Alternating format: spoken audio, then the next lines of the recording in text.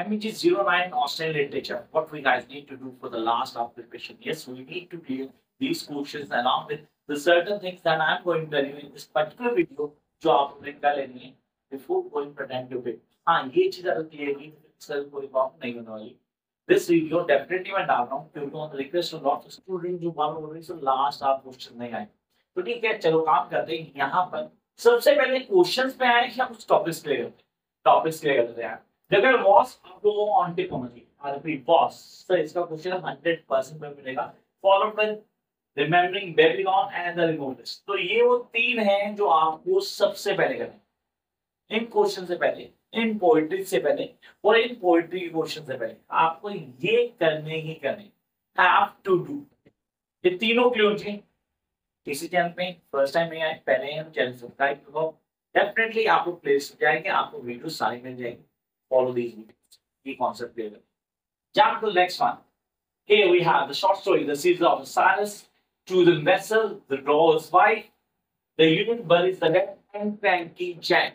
भाई ये हैं शॉर्ट स्टोरीज जो आपको ऑन टिप इनमें से दो क्वेश्चन कंफर्म मिलेंगे तो पाँच क्वेश्चन मैं ऐसे ही बता दिया आपको बिना कोई मेहनत किए ये पाँच क्वेश्चन आपको पेपर में कल मिलने वाले तो ये आपको ऑन टिप भी होनी चाहिए ठीक है थोड़ा आगे चलते हैं चीज़ों को समझेंगे कॉन्सेप्ट को क्लियर करेंगे। So what are the poetry section sir, हमने पोएट्री नहीं पढ़ी। जिन्होंने नहीं पढ़ी I know it's a big task तो ठीक है गिनती की पोएट्री कर लेते हैं। कौन सी वाली?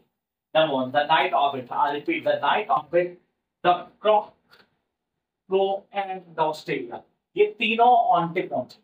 आई रिपीट तीनों ऑन टिप पहुँचे। The nights of it now cock flow and Australia 100% on tip पहुँचे।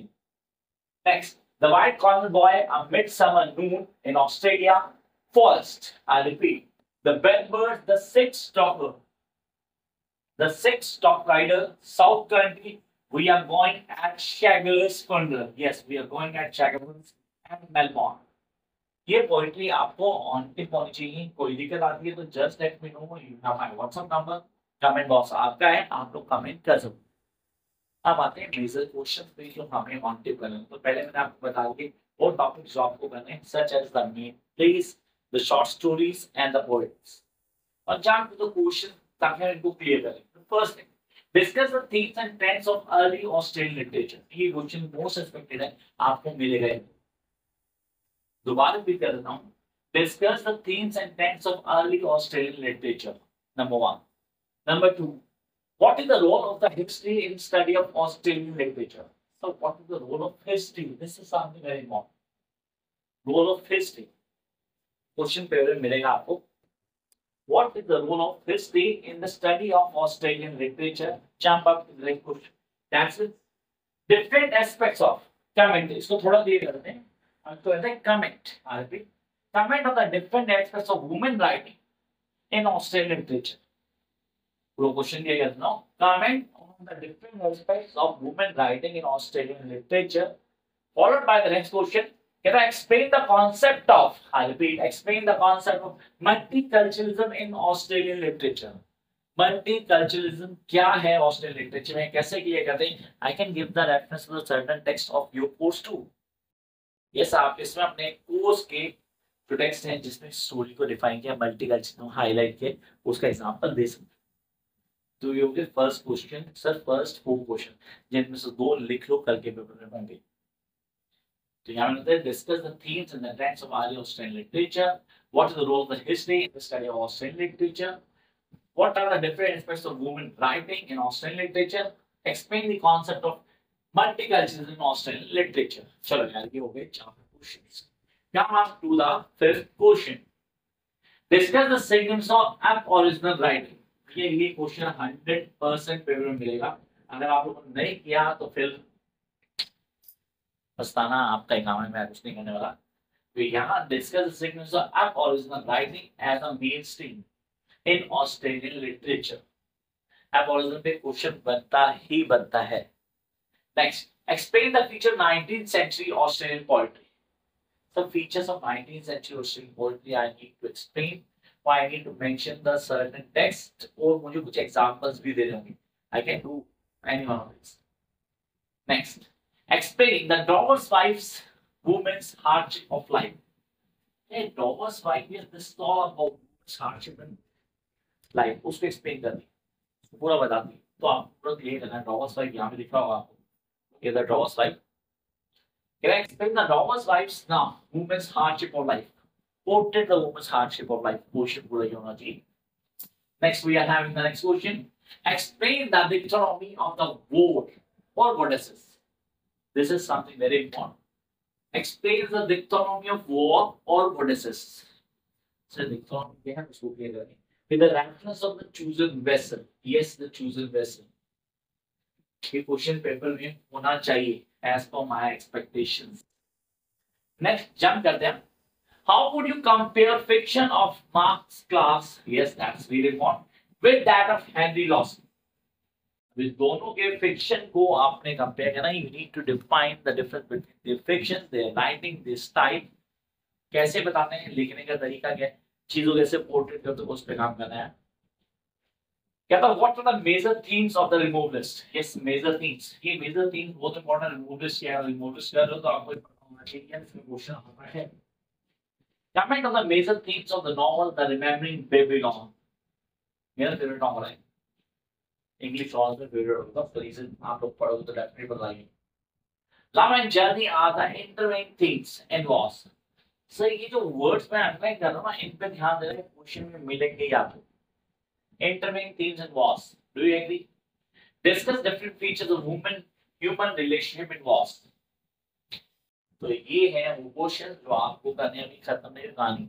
अभी बाकी है पोएट्री के questions and then I give you the major tips that वो टिप्स जो आपको हेल्प करेंगे करेंगे। एग्ज़ाम को अच्छे से क्रैक करने here we have the poetry questions, number 1 which forms of candle appeal to you the most? भैया, मुझे उस पोएट्री को पूरा बताना पड़ेगा।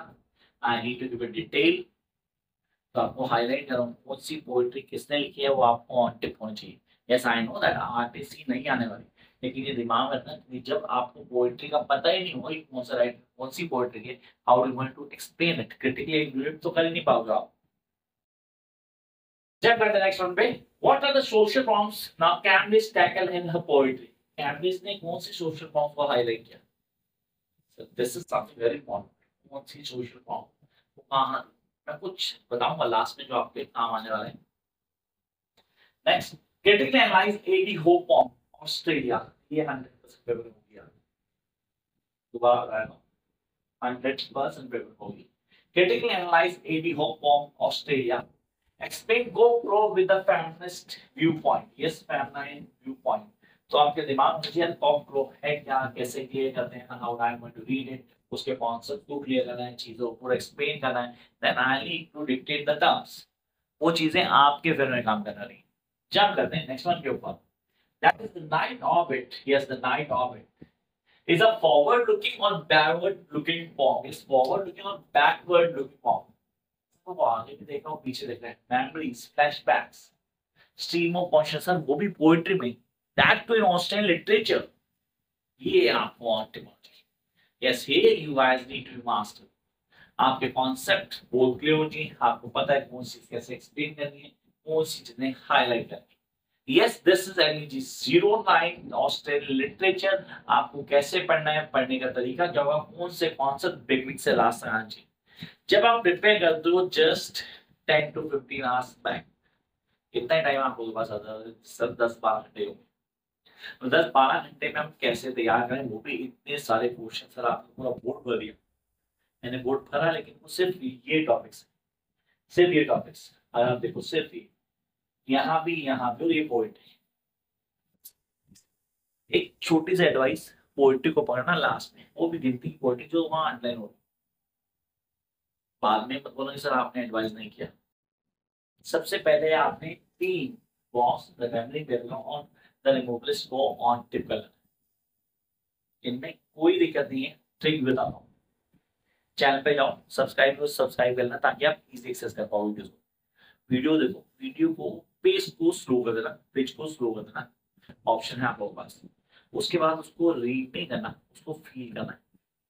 At the time of listing that write down और मेक योर नोट्स क्या कैरेक्टर्स हैं? कैरेक्टर चार्ट्स को हाईलाइट करो, दिमाग में रहने चाहिए।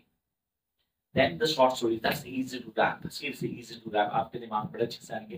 And I know that you guys are going to create each and every now ये आपको ऑन टिपोलॉजी फिर आप आ जाओ क्वेश्चन किसके क्वेश्चन पे? पोएट्री के क्वेश्चन पे पहले पोएट्री के क्वेश्चन को पहले क्लियर करो। क्योंकि पोएट्री कनेक्ट करती है। पोएट्री आपको कॉन्सेप्ट को क्लियर करती है। Such as the night of it cop Australia at Shakespeare, Melbourne, and we are going. Yes, I need to clear all, but पहले मैं इनको लूँगा। And then go one by one. आप concepts clear कर लोगे. I know that you guys have certain things in your side कि आप उसको बड़े आराम से clear कर ले दो. That's what you guys need. Wish you all the best.